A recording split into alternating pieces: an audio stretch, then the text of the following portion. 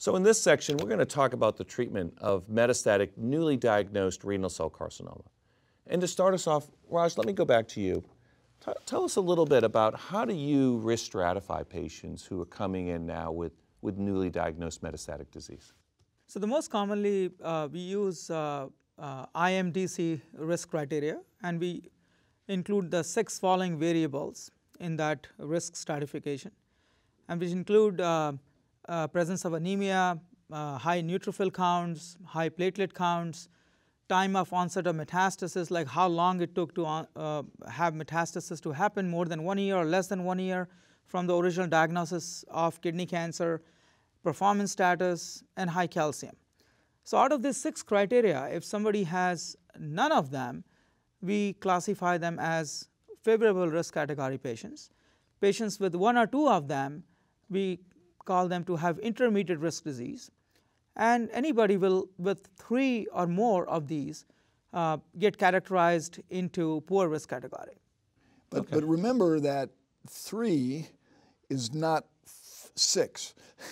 so a person with a three is still pretty good, and a two is almost as good as a one. So, you know, it's you got to be a little bit. Uh, you know, I call it Kentucky windage.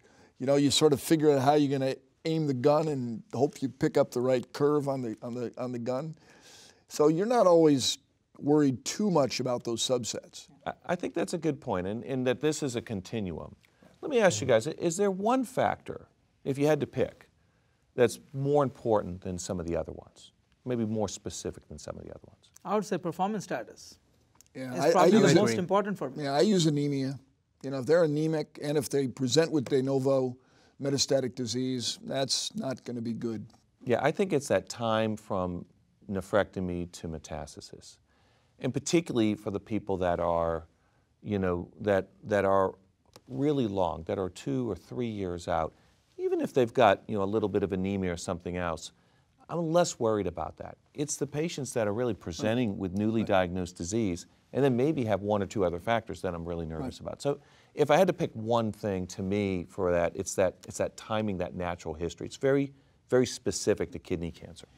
Well, for the favorable risk, I mean, if you've got a nephrectomy 12 years ago and you got three small lung nodules, I mean, those are people that most of us would watch, right? I mean, that's right. I think it's an excellent point. I mean, are there sort of a, a routine practice, if you will, for a subset of patients that you'll really consider for active surveillance or deferred therapy and follow? And, and, and, Bob, in your practice, how do, how do you follow?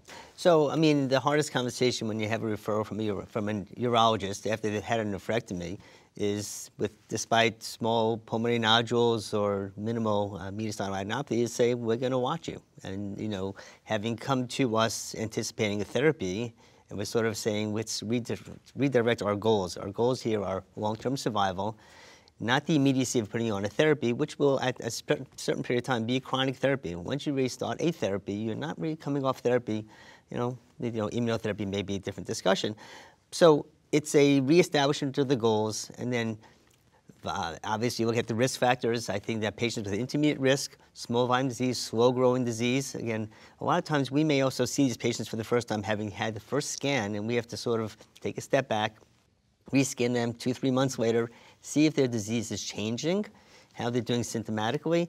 And it really is, I don't look at one factor that can sort of predict how they're going to do. You really have to use the whole categorization of the patient and really put it together and requires more than one visit that can get you the gestalt about what these patients are going to do. Yeah. And they may evolve in front of you or they mm-hmm. may just be a very slow grower and it's just, again, back to the conversation. Mm -hmm. Brad, I mean, you're, you know, again, you're a little new to the field, but, you know, we've been doing metastectomy for a while in this field.